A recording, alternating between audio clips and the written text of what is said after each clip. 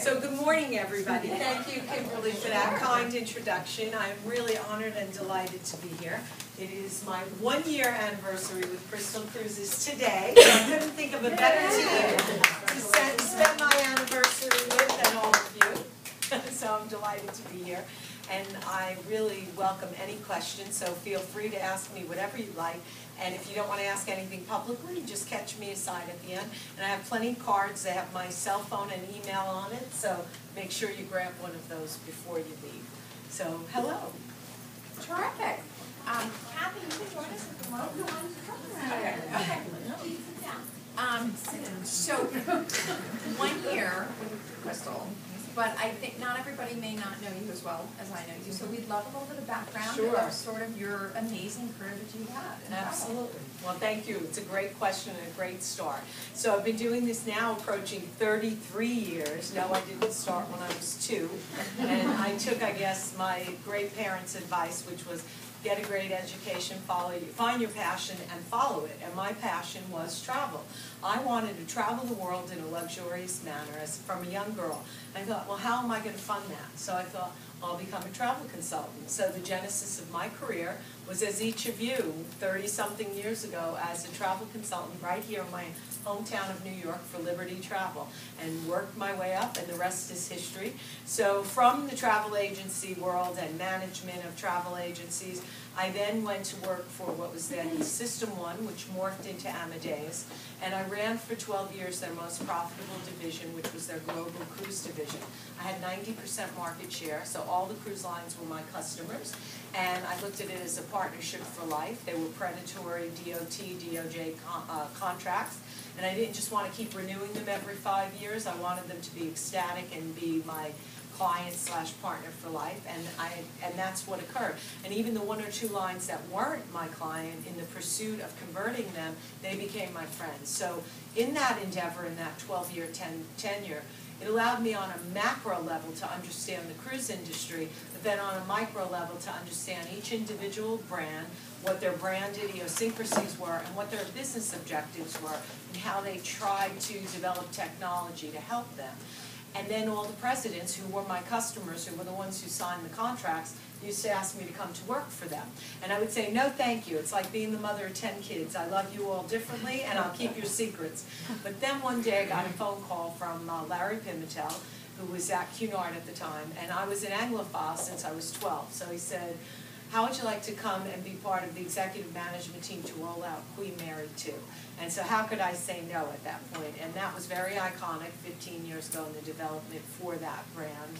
And that was where, what led me from the vendor side to the cruise line side. And I was there in several different executive capacities for both Cunard and Seabourn concurrently, so I certainly loved luxury, understood it. And this was how I was funding my passion, to travel the world in a luxurious manner. So uh, from there, Carnival Corp obviously owned that. I did a lot of different special projects for the other brands. And when they were acquired by Princess and were moving Cunard at the time in Miami to LA, I had known Peter Ratcliffe very well because he was the one customer I didn't have in the end of my Amadeus tenure. I did have a piece of their business. And he said, Edie, whatever you want, come move to Valencia and do this. And I said, Peter, thank you, I appreciate it. But at that time, my now 24-year-old son was, you know, a preteen, and I was divorced since he was five, and I promised him I would never move. So I said, I'm not moving. I'm a New York girl via Florida, now in LA. And I said, until my son is 18 and away at college, I'm not moving unless I have to, and I don't have to, so thank you. So that's when Bob Dickinson called and said, well, come to Carnival. I was jealous that Larry did that, come to Carnival. So I hopped over, not my favorite space. It was not the Carnival of today. It was what they did, they delivered what they promised, mass market type, down market brand, but nonetheless, under Bob's regime, ran a profitable, good company. And I loved my tenure there and with that team. That team changed, the new management team, that wasn't what I signed up for. So Larry called me again and I went across town to Royal to uh, Azamara Club Cruises, their upmarket brand, where I was for four years until Crystal called and I've been here now a year. So very long-winded way. I know you're saying, does that New Yorker take breath? No, I do occasionally. Well, I'm not So I sure hope I answered your I'm question. not sure you're qualified enough. I'm a little daunted by your expertise. Wow, where to go from there? Um, so why don't we talk about Crystal a little bit? obviously you came in a year ago. Um, you have a vision, you have an idea of where you wanna take it. Um, we're fortunate enough that we know your two ships very well, but uh, there's always hope will there be a third ship or more. Yes. So why don't you talk to us a little bit about what you've been doing over the past year? Great. Well, uh, obviously, when I went there, first of all, it was a 24-year-old brand. Next July, we're celebrating our 25th anniversary. And it was a stellar brand. I call it the Rolls-Royce of the cruise industry. It is the creme de la creme. No other brand in the world, not only the cruise space, any space, not even Singapore Airlines, who's won almost as close, but 20 years Condé Nast World's Best. Next, next month, next week, 21st year comes out, and I'm praying we win 21 years. And also 19 out of 19 years travel and leisure. So now living in LA, I have to use Hollywood analogies, and I say, that's like being a star and winning the Golden Globe and the Oscar for 20 years in a row. It just doesn't happen, but we did that, and uh, kudos to the team, because the brand was great before I got there, and I did not come in like a bull in a china shop to change the world. I thought, it's a fantastic brand, I'll evaluate, and we will just tweak and evolve, because as a luxury consumer evolves, and they do, we need to evolve this brand and take it forward. So we've done a lot of things in the last year, everything from implementing in our refresh a taste restaurant on board Serenity, to now having site running shore excursions, to late mm-hmm. riser excursions, to a myriad of things that a luxury consumer, I always say, they evolve probably more than the average consumer. So we want to offer options. There, there are reasons that our phones and our iPads are called iPhone, iPad. We want what we want, when we want it, in the flavor we want it. So for a luxury guest, that's exacerbated even further. So the more options that we can offer, the better a happier client, your clients that you entrust to become our guests, we are able to do. So we make these little tweaks along the way. But clearly, as I said to my chairman when they tried to hire me, I'm not coming there if we're just gonna stay a two-ship operation. We have to grow it. There's such power in this twenty-four-year-old brand equity that we will be remiss as a company for profit to not grow it. So as I said when I came, my vision is to really grow the brand.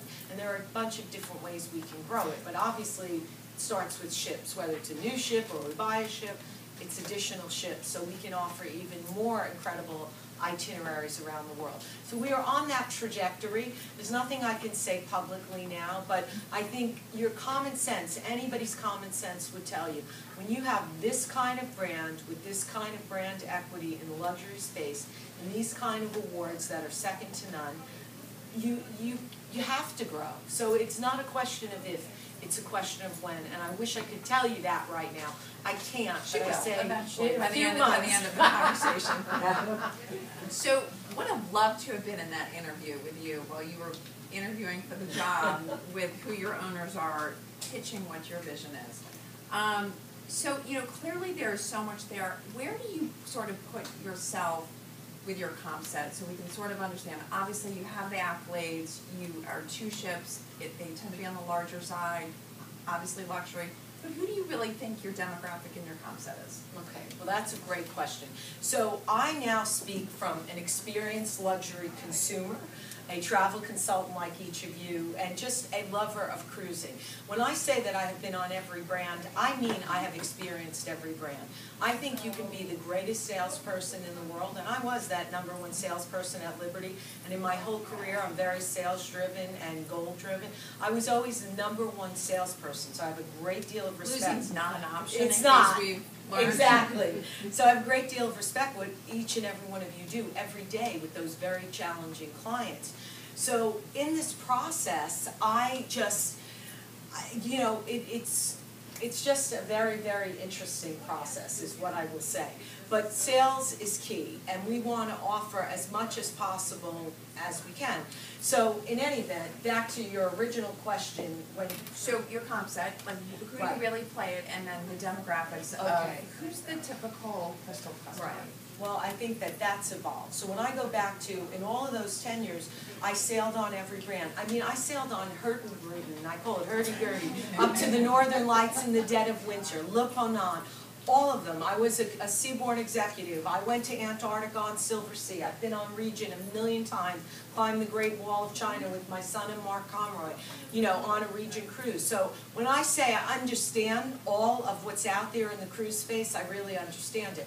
For our brand, we are clearly luxury. And so in my mind, the cruise competition in the luxury space are three other brands, Seabourn, Regent, and Silversea, clearly. But we are competing for dollars. So that means your luxury client and the woman who typically makes the buying decision, if her wealthy husband put her on a budget, she has to decide, do I want this fifteen thousand dollar Birkin Hermes bag, or do I want to go on a vacation, or if the sky's the limit?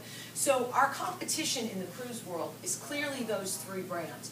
But now there are new competitors. So whether it's a shopping spree in Paris that we're competing with, or an Aman resort in Asia, or a riverboat. The riverboat segment has grown so incredibly.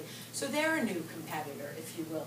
And like all of us, you, you choose different vacations for different times in your life. So if I'm going on a romantic getaway with my husband, I might choose X. If I'm taking my son and his girlfriend or a big family reunion cruise, I might choose another brand. So we not only have competition in the travel space, but we have disposable income travel spending, like, are they getting the Lexus for the holiday present, or are they gonna go on a cruise? So in a true competitive set competition, I view those three brands that I mentioned. Now, what are the differences? If we've all sailed, I think you can give your story about the differences. One of the key differences, we are obviously larger.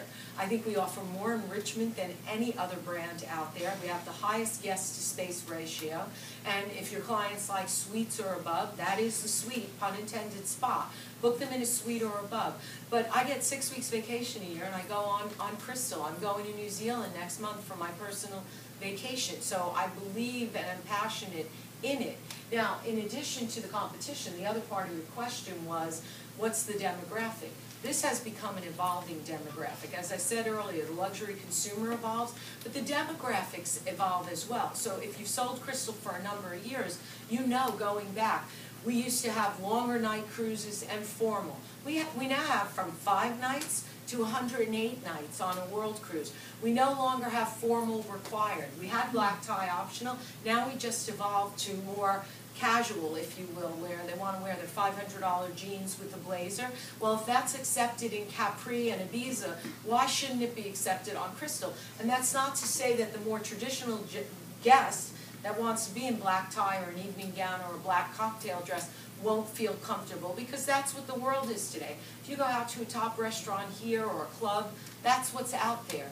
So we continue to evolve that way. But our demographic as a result of these changes has lowered. So if you were to ask me to your question, what's the average age right now?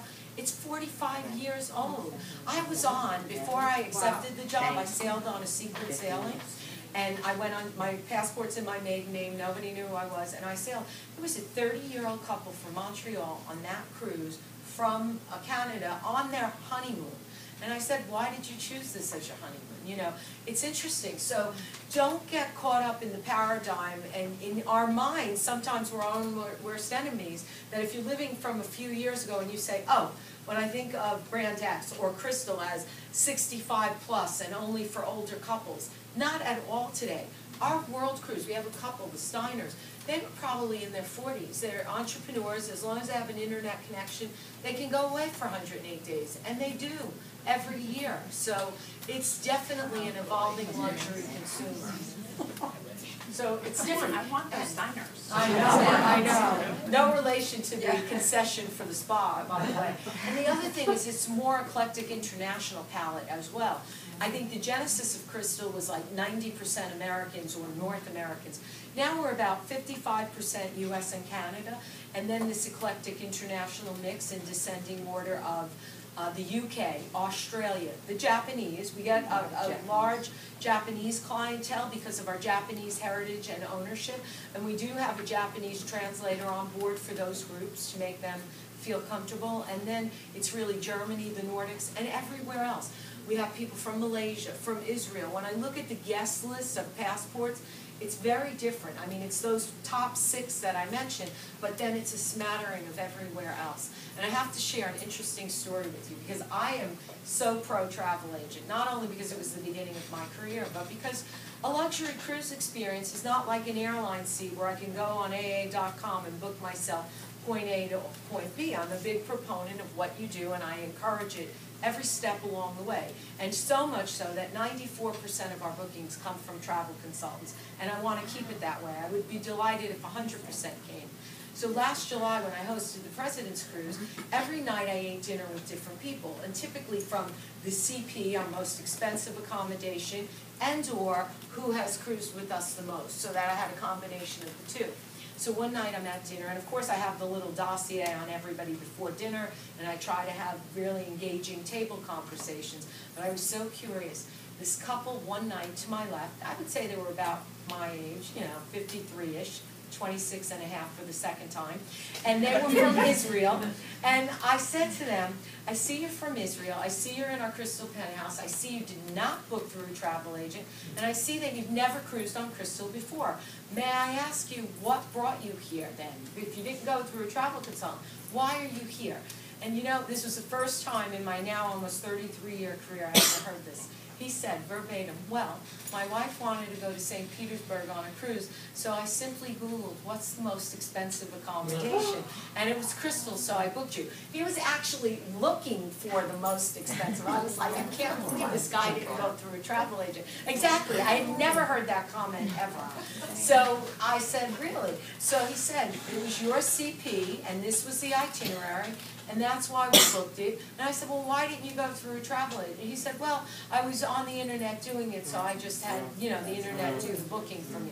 I said, okay. But I found that fascinating, and that goes to how the consumer is evolving. He wasn't a thirty-year-old kid that you would presume, like my twenty-four-year-old son does everything on the internet. They don't even know how to make eye contact, have a conversation. I don't get it, they break up with each other via text message, but to each their own. But this was not that demographic. This was somebody my contemporary, my age, and that's how they did it. So it, they are evolving, and if you're not social media savvy and you don't have your own Facebook page to solicit business, you should, because it's definitely a means. So an evolving demographic, getting younger, getting more international, wanting a more casual environment, and spend, spend, spend.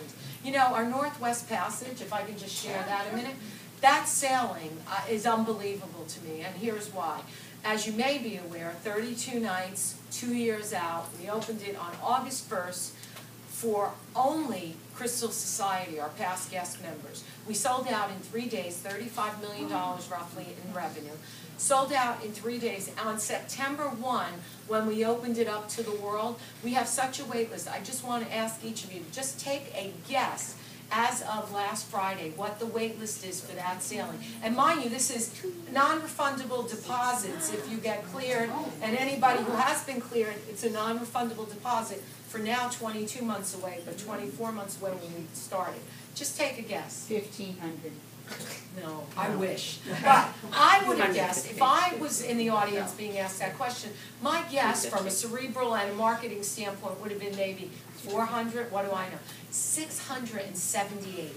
And you know how many of those are new to Crystal? I wish I could clear them all. I wish I had another ship just so they could all sample Crystal for the first time. So that goes back to an So when, so evolving when's the skill? demographic. What's the name of book?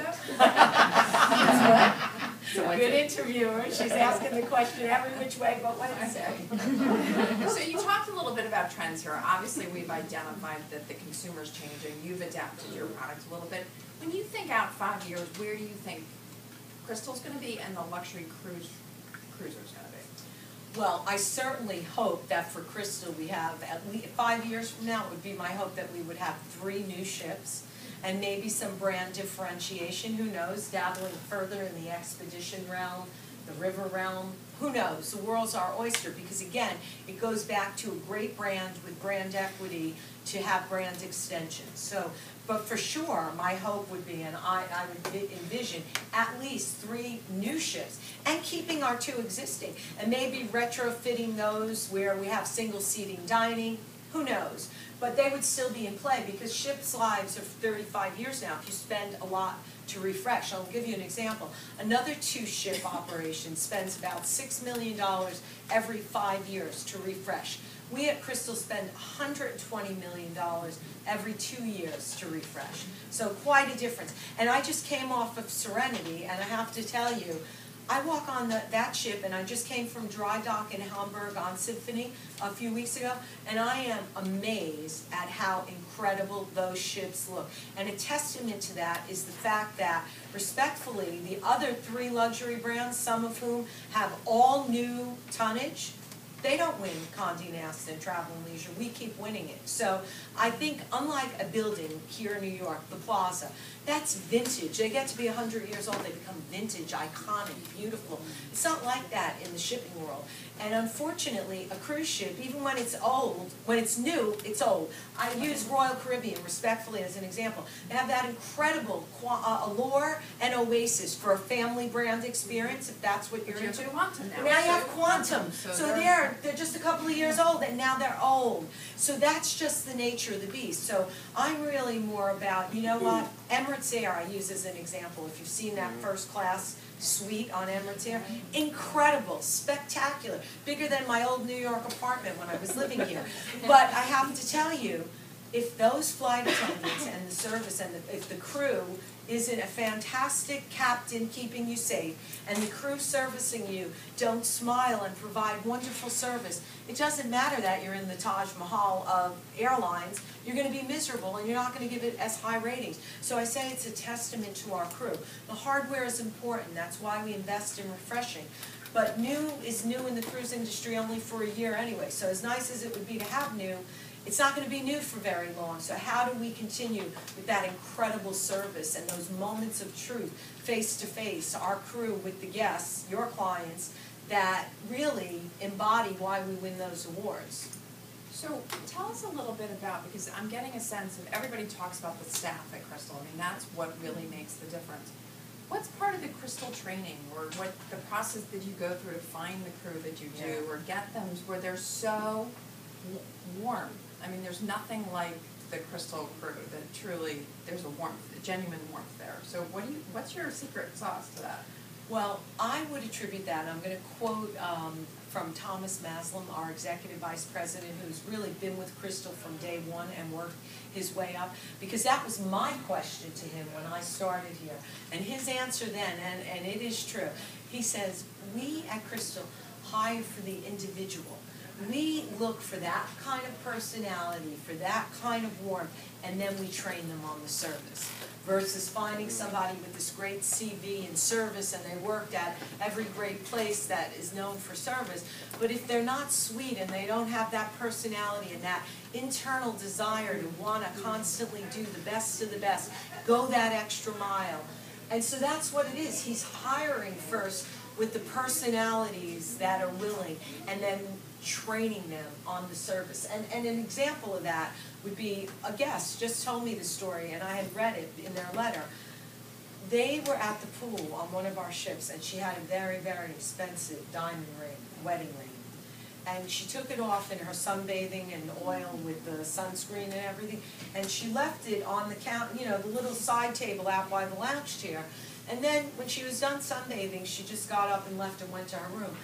That cabana person, the lovely Filipino crew, family members I like to call them, he saw she was leaving, so he was just doing his job to make sure he refreshed it, put new towels. And as he was cleaning, tidying up that area, he sees her big rock. He actually beat her to her stateroom to return it to her before she got back to her stateroom. She didn't even know it was missing, and we ladies would know, we'd have a heart attack if we thought we missed our diamond and then went back and it wasn't there. And She does, he gets she- like more in the room. but she didn't even know she was missing it. He meets her in her stateroom and he tells her, I, you know, I'm sorry you left this by the pool. And she, she, she was so unbelievably odd that she wrote me a letter and she told the hotel director and we, we awarded him and complimented him and all those right things you do. But it is about uh, hiring for the right morals, ethics, willingness, and then we can train on the rest. Terrific. Any questions? You guys might have?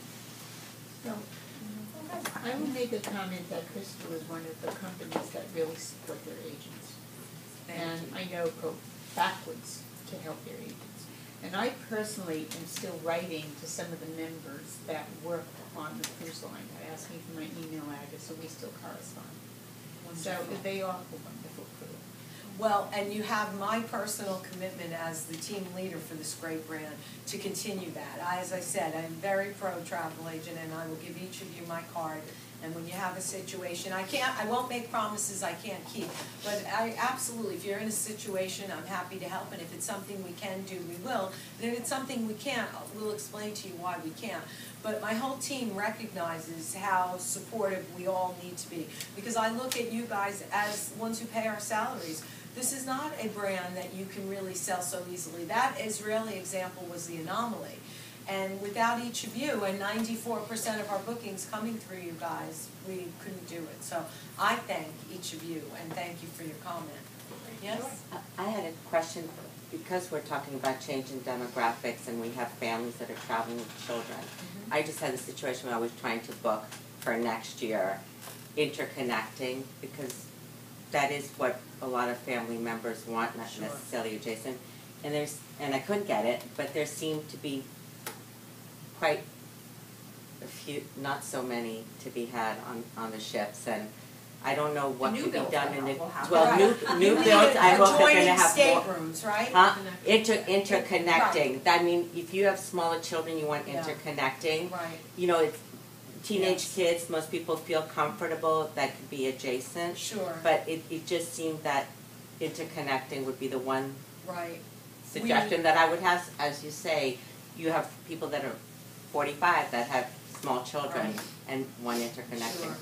Well, your point is well taken. Today, our current configuration doesn't have a lot of those. It's certainly something we can consider on our next refresh, and certainly in a new build, the point is very well taken. You also don't have enough handicap cabins because the boat's so small, I know. there's no place to It's- put them. It's, well, Yeah, and then take away yes. your other cabin space. We are fully ADA compliant though, so whatever we are required to in that genre by law, we do do, and we have that. But another consideration certainly for when we build new. Great, other questions? It's uh, so it be so they always uh, challenging, you know, the people who love the much smaller ship. Mm-hmm. It's very crystal, all that so huge to be. Are you planning to make a little smaller? Small. Well, so, so roughly, let's say nine hundred guests on one, a thousand on the other, but then we have single staterooms. So sometimes we are sold out stateroom wise, but we only have seven hundred guests because we have a lot of singles. And again, I go back to the space to guest ratio, we have so much space that you don't feel, I don't feel personally like I'm on a ship with 700, 900 guests. I really don't, and I've sailed at some really full times. But I get it, and I would say, you know, it's, the physical plant is the physical plant. So currently, they should try it and see what they think versus just knocking it out thinking, oh, it's too big. Because it is a different experience, you know, uh, some mass markets have similar sized ships, this is a completely different experience. But certainly, when we build new, ideally, I would like to see it in about the seven hundred and fifty guest range and, and the same size, just again, even bigger guest to space ratio. So assuming that we can make the sales pitch of explaining the benefits of a larger ship, Mm-hmm. um, one of the pushbacks still is dining. Um, Yes. will any concession be made if you really don't wanna do early or late, but want the flexibility to dine when you want? Well, we actually have that program now. You, you know, you Right. sign up for it and you tell them what you want. And that's another little challenge because we would love to be single seating dining. It's a challenge because of the size of the dining room. So now, as you know, we have the two seatings, but they can pick their dine around and, and say, I don't wanna eat at that time, I want by reservation seven thirty or whatever. And we do our best to And that's done at accommodate them. booking? Yeah, you can do it at booking or when you embark. Oh, you can do it on the ship? You can Okay. ask, and certainly the maitre d' will do everything in his power to accommodate, definitely. Yes? I have a question about small groups. Mhm. Um, There are certain types of excursions that I'm, I plan like wellness, that themed, Mm-hmm. themed groups. And it's not always so easy to book everyone at one go. They book into an experience, but over a period of time. And one of the issues that I've had is um, reserving a certain category of staterooms.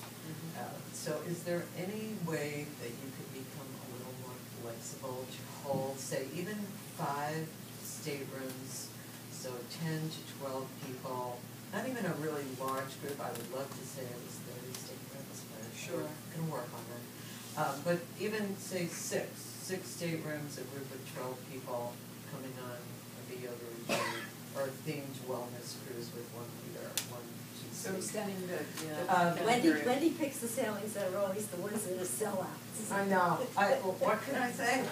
The seven dayers. Well, they're good and, and they're, you know, at a time when people could go, That's but, a tough one. but it, it is an issue that's on my mind, because I know I can make these things happen, it's just not so easy to do Sure. that when all, say, especially the lower category Right. credits, um, staterooms. And some cruise lines have um loosened their restriction Yeah. on length of a group Right, grace period to try and book into it. just wondering, so. Well, I will say this, I will go back and speak to Barb, our VP of reservations, and see what she has to say, and then we can circle back, Kathy can chat with me her about it, and we'll see. Again, I don't wanna make promises I can't No, keep, I- it's but I'm glad, I really just an appreciate you bringing it to my question, that- attention. It's an issue that I've had, and Definitely. it's something I'm trying to work with. Sure. Since we're on the group Tenacious. subject, I Mhm. told Pete I wanted to bring something up. Mm-hmm. Um, the one thing that I really want to, to emphasize with Crystal is that, um, you don't, your client can be deposited and still ask for a group contract with us, which I know, I understand with some other cruise lines, that once they're deposited, you can't ask for a group. So feel free, we have a really nice group policy, in fact, we just went to a really easy um policy, especially for all of you who are, most of you are independent. So now we have with our groups where you can have a um a a shipboard credit for them, and the shipboard credit can either be directly applied to their booking or prior to, we would actually pay, um, no, I'm sorry, after they sell, as a, as a, we would pay you the shipboard credit amount, so if you were going to set up something for them, um, as a special, um, you know. Transfer or Yeah, or something. like that, we would pay it to you. But, but what I really wanna let you know, because I know that, you know, some cruise line, it doesn't make sense, like you have one client, you know, the Smiths say, oh, I'm gonna go, and then they go, hey, Mr. and Mrs. Jones, you wanna join me, and Mr. and Mrs. whatever, join me, and now we've got three couples, and that's all you need for a group, and then the cruise line says, oh, sorry, you're deposited, now you can't have a group contract oh. you know, which I know some of the cruise lines, do. you can with Crystal. So we're real flexible, I just want you to know that, so, and just call me and we can do Thank it. you, Kathy, and I will follow up on that and we will get back to you. The other thing I wanna say and remind each of you, like you guys, we are very proud to be partners with Virtuoso. And so kudos to Val and being honored again this year, and we were delighted to win back Best Luxury Cruise Line as voted by all of you Virtuoso Travel Advisors. So thank you for any of you who uh, voted for us.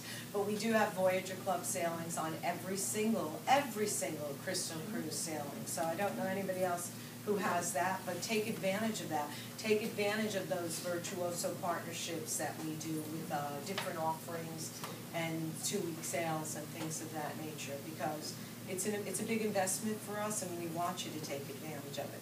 I have a question, is, who hasn't sailed on Crystal in this room?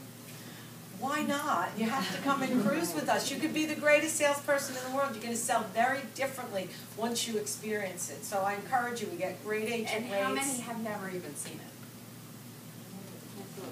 Interesting. Oh, God, you have to, Joy's coming really. Friday, I have a group like. you coming Friday. Something to consider as we get, you know, more Definitely. for. You really, really have to, because it is something special. And as I said, when I went on that secret sailing, contemplating accepting this position, again, because I'm such a passionate person, the irony in all that, having sailed on everyone, here's the irony, back to my Amadeus days, Crystal was the only cruise line I didn't have and I never sailed on them. Isn't that ironic? True story. So when I sailed on them, I swear, my husband and I weren't on board twenty-four hours before we said, oh my God, what was I, an idiot? I have to accept this position, you know? It's fantastic, but but I mean, I was that enthralled. I kind of came on as a pessimist. I was like looking for reasons to say what makes them so great. Why do they keep winning all these awards?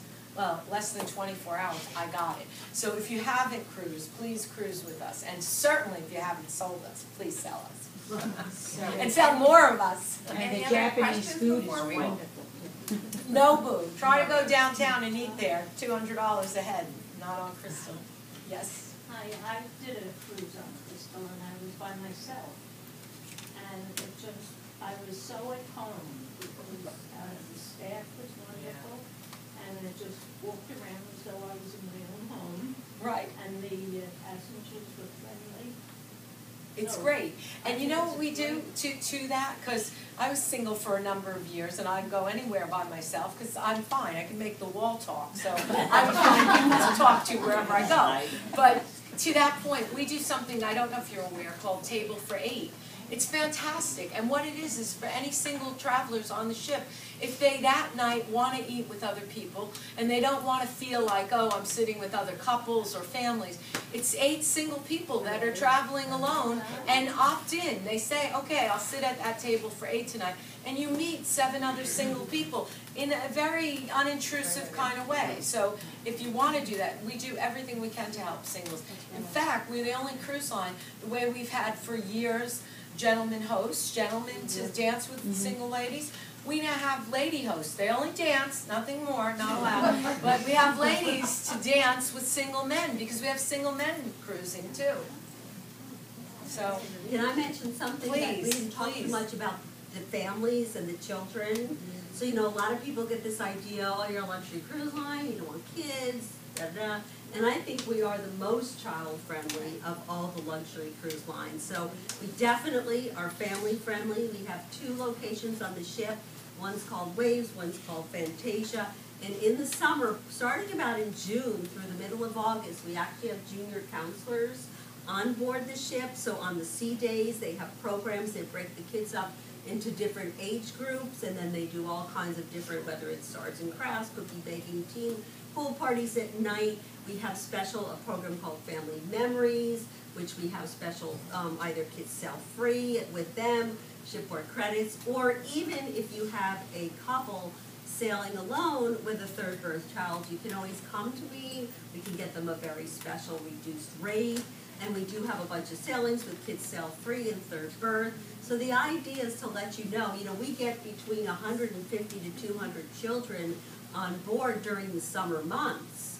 You know, so a lot of people are shocked that we have so many children, but it, it, we are a very family-friendly cruise line, so don't just think, I mean, yeah, if your kid wants a rock climbing wall or the mm-hmm. slides, but you know, a lot of these children who are from more upscale families are more sophisticated kids, mm-hmm. you know, and they like going on the higher end cruise line. You know, I will not name the travel agent, but he works at another virtuoso agent. He told me how his kids were with another group of kids, and they were comparing. Oh, what's your favorite hotel? Well, mine's Raffles. And they're like five. And mine's Mandarin Oriental.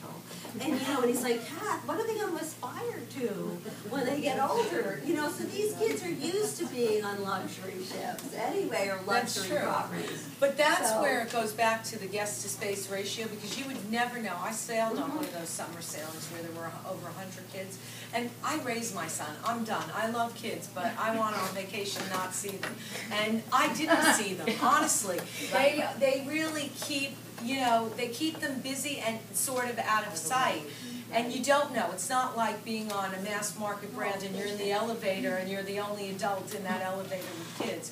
So I think we do a great job of sort of navigating that and making it nice for everybody. And the other thing we just added when I was on Symphony and just came out of dry dock, we have pure staterooms, if you're not familiar with our hypoallergenic staterooms, first ever at sea. We already had them on Serenity and now we have them on Symphony as well. So if you have any clients that are into that or have that need, they're fantastic. any last questions? Terrific. I can't thank you enough, this was you wonderful. Um, Thank you all.